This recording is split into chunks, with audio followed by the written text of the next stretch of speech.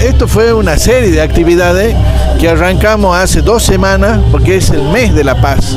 Y son cinco organizaciones las que vienen trabajando, al margen de que yo soy director de la Biblioteca de la Legislatura, está el Consejo Federal de Folclore de Argentina, la Mesa Panamericana Macacha Güeme y eh, la, la Fundación Uruguay. Además de dos escuelas señeras, una es la escuela del barrio bancario, Cortázar, y también la Escuela General Güemes.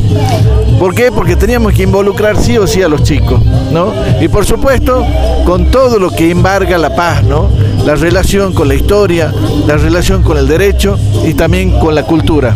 Por eso es que mostramos nuestra cultura ahora en este momento con el ballet de tradición salteña de la Academia de Folclore de Salta. Eh, decías en tu alocución qué es lo que significa, eh, lo que eh, implica esta bandera de la paz. Bueno, esta bandera de la paz tiene, aunque no pare- parezca mentira, 9.000 años, porque son símbolos de la humanidad en sí.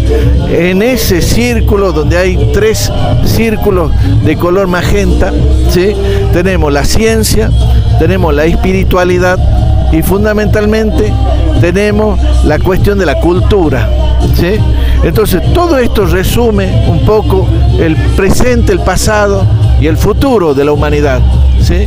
Porque todo tiene que estar dentro de esta cuestión. Y por supuesto, tiene que estar el arte también, que es lo más bello que tenemos los seres humanos. La paz es una cosa que todos deseamos, pero que debemos aportar para que eso se cumpla. Es, es ahí eh, el primer, digamos, el primer principio que debemos este, de alguna manera poner en consideración y en valor de lo que la sociedad muchas veces reclama y, y- trata de ayudar, pero muchas veces se los confunden. Entonces estos momentos de reflexión me hacen pensar en que la sociedad debe encontrar estos espacios para buscar armonía entre los seres humanos,